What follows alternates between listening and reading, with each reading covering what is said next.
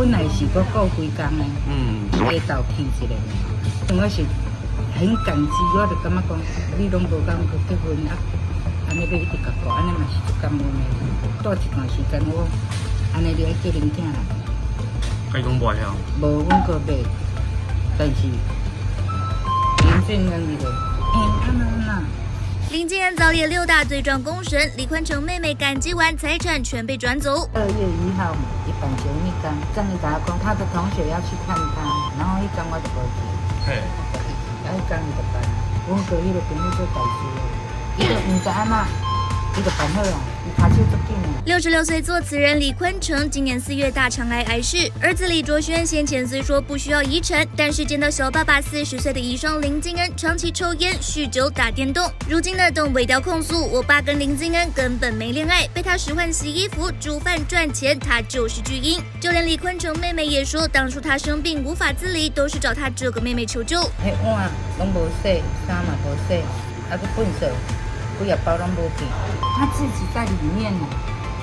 哎，大细声，又去吵着邻居啊，啊，啉烧酒，安那安那，什么拢无做，只讲当厝里拍电动。酗酒，酗酒，酗酒，整个洋酒酒杯都喝光光，然后他在里面摔东西，然后造成住户的困扰，然后管理员通知我的，然后管理员也有报警。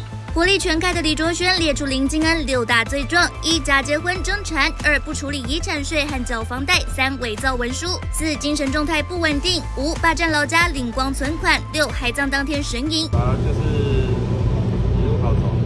十八号，李卓轩透露，爸爸海葬当天只有他和姑姑到场，林小姐怕负担丧葬支出，直接神隐。整个后事过程我都有通知他来，他只回我不需要参加。靠着李坤城留下的纪念账号，李卓轩多次透过爸爸脸书发文，怒轰林金恩，怕他征战，直到李坤城弃切才通知他。紧急的时阵就去加护病嘛，嗯，啊加护病嘛，我就讲啊你啊个坚强，多一段时间我安尼就要叫林囝来。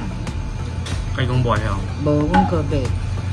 但是，林正恩伊就，哎，安那安那，本来拢我家己一个在讲，是到尾啊，伊，毋知是阮哥甲讲的，还是讲伊看我遮辛苦的，伊讲，诶，我会使等于身躯，阮一人过半工的，安尼，然后伊就是过早上，啊，我就是过晚上，我甲即拢无结婚，我顾阮哥是正常，我是很感激，我就感觉讲，你拢无讲去结婚啊。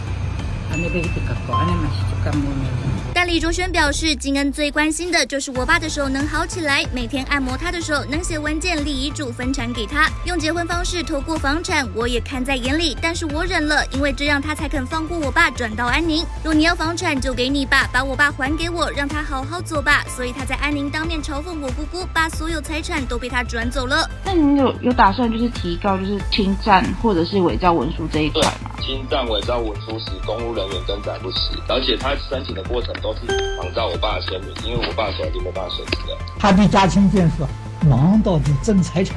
李卓轩澄清，之所以出面爆料，并非为了争产，除了担心老家被法拍，也担心林坚精神状态不稳定，父亲的黑胶收藏被破坏。又要缴四万七的房贷，他没有能力缴。